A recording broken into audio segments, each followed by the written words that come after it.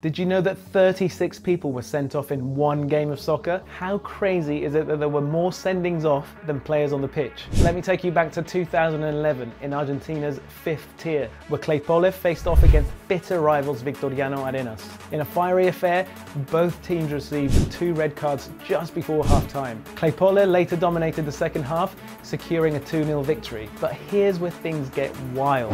After the final whistle, the soccer field transformed into an MMA arena. A massive brawl erupted in the centre circle. Players, subs, coaching staff, legend has it that even the coach drivers threw punches in the mother of all fights. After the altercation, referee Damien Rubino stepped into both changing rooms. He went into both changing rooms to dish out individual red cards to every single member of staff from both teams. The result?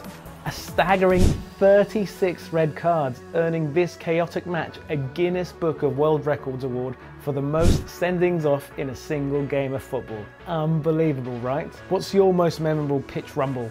Let me know your thoughts in the comments below.